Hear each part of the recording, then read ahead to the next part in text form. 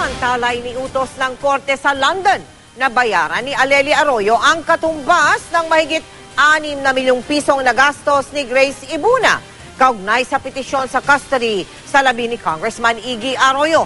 Pero si Aleli naninindigan na hindi siya magpapasakop sa utos ng korte sa London. Nakatutok si GMA News stringer Sunny Laragan. Matapos ibigay kay Grace Ibuna ang kustodiya sa katawan ni Ignacio Iggy Arroyo, pinagbabayad naman ng UK Royal Courts of Justice ang legal wife ng kongresista na si Alicia Aleli Arroyo.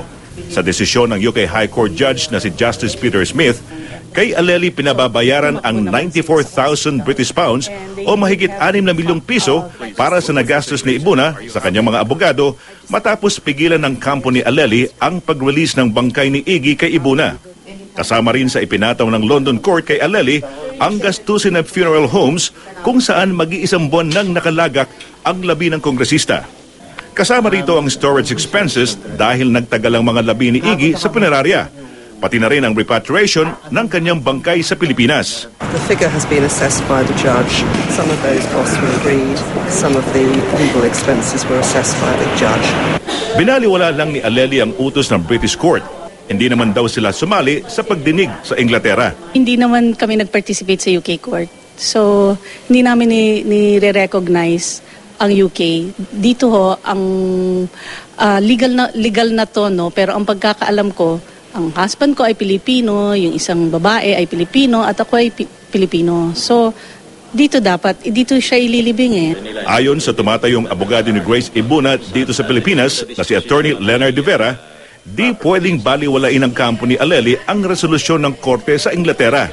Ang sinasabi ng mga ng kabilang partido, eh yung forms na yan sa abroad yan eh, hindi kikilalanin dito yan. Which is not correct. In the first place, it's not authorized.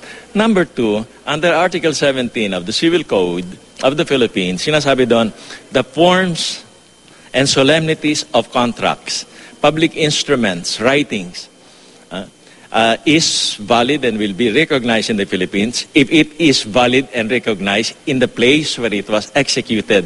Pero sa pagdinig kahapon dito sa London, inamin din ng British judge na ang desisyon niya ay maaaring isang empty order lamang o walang saysay dahil hindi maaaring obligahin ng mga abogado at funeral home si Aleli na nasa Pilipinas at isang Filipino citizen.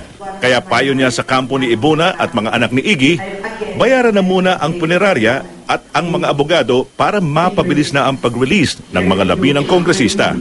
Mula rito sa London, Sunny Laragan, nakatutok, 24 oras.